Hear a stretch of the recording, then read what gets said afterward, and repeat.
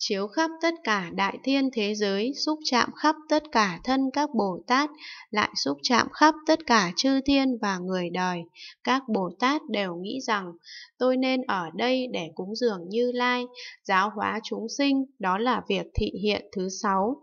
Phật tử khi Đại Bồ Tát từ cõi trời đâu xuất sắp hạ sinh, thì từ trong điện Đại Mani Bảo Tạng phóng đại quang minh, tên là thiện trụ quán sát, chiếu chỗ sắp sinh của Bồ Tát, chỗ cung vua, quang minh đó chiếu rồi, thì các Bồ Tát khác đều cùng đi theo hạ sinh xuống cõi diêm phù đề, hoặc ở nơi nhà, hoặc ở tụ lạc, hoặc ở thành ấp mà hiện thọ sinh, vì muốn giáo hóa các chúng sinh, đó là việc thị hiện thứ bảy.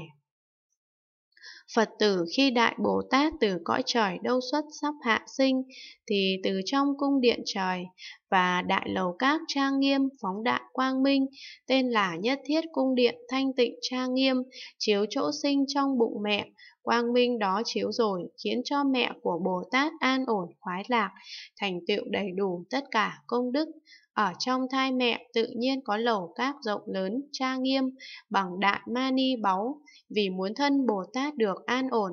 Đó là việc thị hiện thứ 8. Phật tử khi Đại Bồ Tát từ cõi trời đâu xuất sắp hạ sinh, thì dưới hai bàn chân phóng đại quang minh tên là thiện trụ. Nếu các thiên tử và các phạm thiên thọ mạng sắp hết, được quang minh chiếu đến, thì đều được sống lâu thêm, cúng dường Bồ Tát từ lúc hạ sinh cho đến vào Niết Bàn.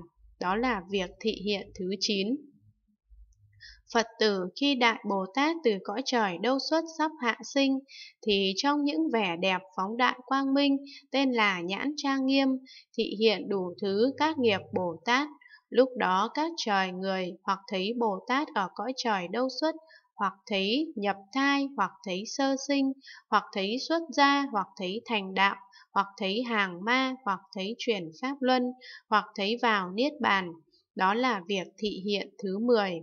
Phật tử nơi thân, nơi tòa ngồi, nơi cung điện, ở trong lầu cát của Đại Bồ Tát phóng ra trăm vạn A Tăng Kỳ quang minh như vậy, đều hiện đủ thứ các nghiệp Bồ Tát, hiện các nghiệp đó rồi, vì đầy đủ tất cả pháp công đức, nên từ cõi trời đâu xuất, hạ sinh xuống nhân gian.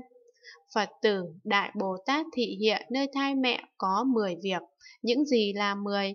Phật tử Đại Bồ Tát vì muốn thành tựu các chúng sinh tâm thấp kém hiểu biết, chẳng muốn khiến cho họ khởi nghĩ như vậy. Nay Bồ Tát này tự nhiên hóa sinh, trí huệ căn lành chẳng do tu mà được, cho nên Bồ Tát thị hiện ở thai mẹ, đó là việc thứ nhất.